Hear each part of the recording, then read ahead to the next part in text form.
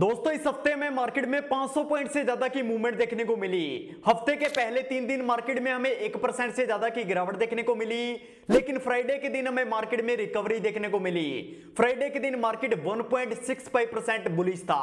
तो आज की इस वीडियो में हम इंडेक्स की हलचल से लेकर टॉप सेक्टर्स और टॉप स्टॉक्स के ऊपर पूरी डिटेल में बात करेंगे। तो वीडियो के साथ एंड तक बने रहना।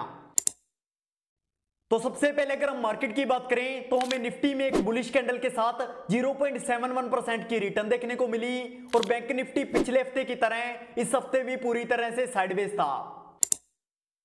अब अगर हम निफ्टी फिफ्टी के उन स्टॉक्स की बात करें, जिन्होंने इस हफ़्ते सबसे ज़्यादा रिटर्न दी है तो इसमें सबसे पहला नाम आता है टेक महिंद्रा का, जिसमें हमें बावन हफ्तों के ऑल टाइम हाई के साथ 5.22 परसेंट की रिटर्न देखने को मिली।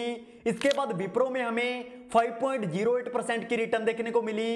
इन्फोसिस में हमें 4.98 परसेंट की रिटर्न देखने को मिली।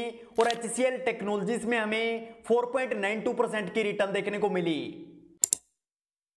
अब अगर हम निफ्टी फिफ्टी के उन स्टॉक्स की बात करें, जिनमें हमें हफ़्ते सबसे ज़्यादा गिरावट देखने को मिली तो इसमें सबसे पहला नाम आता है डीबीस लिमिटेड का, जिसमें हमें 4.06 परसेंट की गिरावट देखने को मिली। इसके बाद कोल इंडिया में हमें 3.71 परसेंट की गिरावट देखने को मिली और डॉक्टर रेड्डीज कॉर्पोरेट में हमें 3.14 परसेंट की गिरावट देखने को मिली।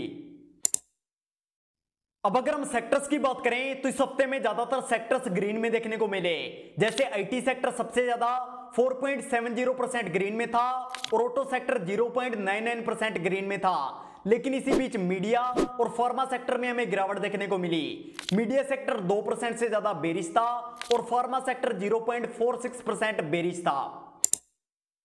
अब अगर हम ओवरऑल मार्केट के उन स्टॉक्स की बात करें, जिन्होंने इस हफ़्ते सबसे ज़्यादा रिटर्न दी है तो इसमें सबसे पहला नाम आता है सी एग्रो इंडस्ट्रीज़ का, जिसमें हमें 70 परसेंट से ज़्यादा की रिटर्न देखने को मिली।